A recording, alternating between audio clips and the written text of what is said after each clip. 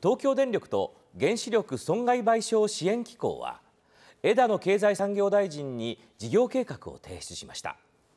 公的資金1兆円投入による国有化や7月からの家庭向け電気料金の10%値上げなどが柱です大変申し訳はありませんけども、しかるべき時点におけるですね、えー、料金の値上げということはですね、えー、取り組まざるを得ないというふうに考えております。